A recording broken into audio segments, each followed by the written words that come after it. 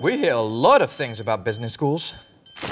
For instance, some whisper they turn students into the sharks of tomorrow. But don't be fooled. It's the opposite. No, in a business school, there is room for everyone, and that's a good thing.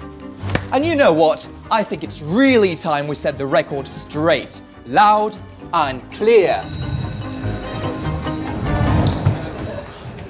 Our motto at Audencia is never stop daring. Do you know why? No! You know nothing. Yes! Because while John might not know it, even with his back to the wall, he's being audacious at every moment. Audacity, it's the desire to change the world, and for the better. Like this guy, right? See you in CSR class. And between us, it would be pretty good to make things happen, but nothing can magically transform itself. Audacity is also a daily struggle to defend our vision of the world by keeping a critical mind, but also humanity, empathy, respect. As Voltaire once said, I disapprove of what you say, but I will defend to the death your right to say it. or something like that. For us, audacity has no meaning unless it is responsible. You think I'm trying to get you emotional, and that soon I'll use little animals to make you cry. And you're right, because that is also a responsible struggle.